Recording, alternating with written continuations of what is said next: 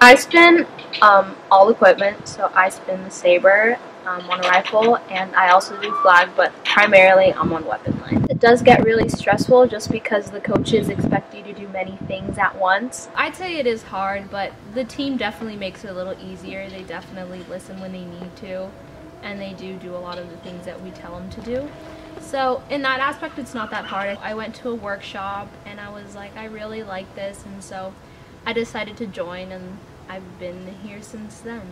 I think that this school is really inclusive, and I think they've, they've definitely recognized as well. People know what we do, even though it's like, hey, you're the people that's toss flag. People are noticing us a lot more, and I guess that's because we're in a division that's much more difficult, and it's really difficult to compete in that division. And just like what we have done, we've progressed so much. My name is Ada, and we are DP.